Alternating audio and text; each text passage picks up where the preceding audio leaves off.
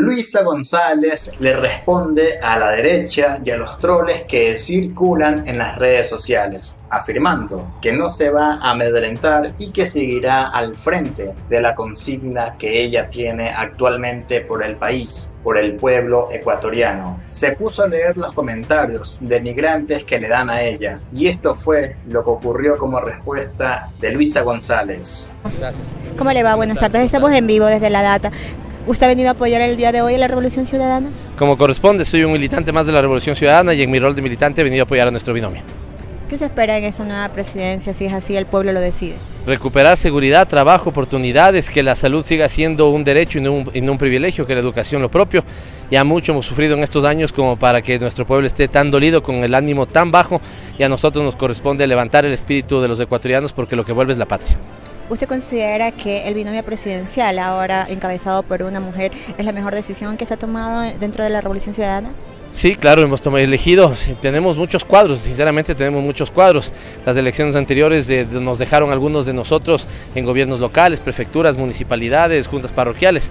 Así que evidentemente ha sido difícil la decisión porque ante tanto cuadro eh, corresponde elegir el mejor binomio para el momento y creo que hemos tomado la decisión correcta. La, primera, la única mujer en la papeleta, acompañada además de su capacidad, de su experiencia, acompañada de una persona joven con el conocimiento de Andrés, me parece que es la dupla perfecta. Hoy en Quito se vivió una jornada de fiesta por la inscripción del binomio. Pavel Muñoz, alcalde de Quito, expresó lo siguiente. La mujer de Correa era una simple ayudante de recursos humanos en la superintendencia de compañías, madre soltera, queda embarazada de Rafael Correa y automáticamente colocada como coordinadora de agenda de Correa, para luego enviarla a España a que dé a luz. Luego sube a secretaria de la Administración Pública, es nombrada ministra de Trabajo y actualmente es asambleísta por uno. Su nombre, Luisa Magdalena González Alcida.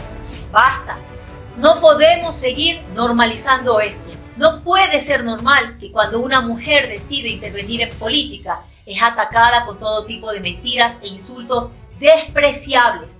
Nos castigan por ser mujer y además por atrevernos a hacer política. Nos castigan por incomodarle. Nos castigan por estar en un espacio que creen que es suyo. Nos castigan por hablar. Basta. Los insultos, los inventos, los ataques no son parte de lo que debemos aguantar por participar en política. Cuando una mujer sobresale políticamente, empiezan los ataques de carácter sexual, que es la moza de alguien, que está ahí porque se acuesta con alguien, que ha conseguido lo que tiene por cómo se viste o por cómo se ve.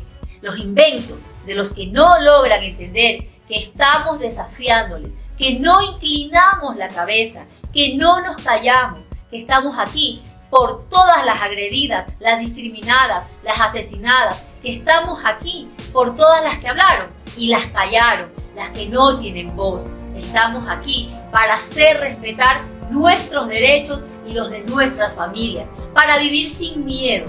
A todas las víctimas de este tipo de ataques, cuenten conmigo, sin importar la bandera política, cuenten conmigo, porque no voy a callar, no nos van a callar. Cuenten conmigo para protestar juntas, para luchar por nuestros derechos, para que ellos sepan que jamás van a contar con nuestro silencio. No están solas. Bueno amigos, si usted está a favor de la Revolución Ciudadana, recuerde suscribirse al canal, dejar su me gusta, activar la campana de notificaciones, seguirme en la página y también en mis otras redes sociales. Nos vemos en un siguiente video.